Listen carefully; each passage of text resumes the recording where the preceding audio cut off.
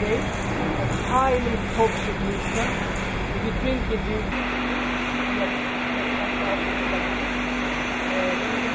the plan was to stop dumping in, in Sandafa.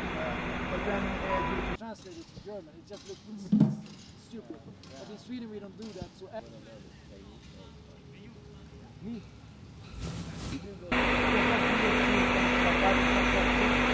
So around the world.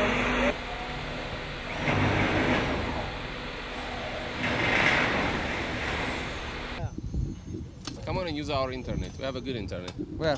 In our office. I think it closed. This project is waste and energy pro- pro- project. So that is to say, we can um, uh, we can handle the waste pro- pro- produced by by the by Addis Ababa. Uh, every day we uh, we can burn ab- around 1,400 ton waste, and also we can pro- pro- produce the power to the uh, to the network. Uh, per year, the the generation of the power is around 185 gig- gigawatts hour. The project is uh, Africa's first grate combustion waste to energy facility.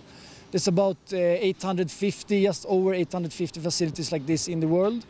We have a lot of them in Denmark, in Sweden, uh, America has over 80. There's a lot of them in China as well. Uh, but this is uh, this will be the first one in in, in Africa.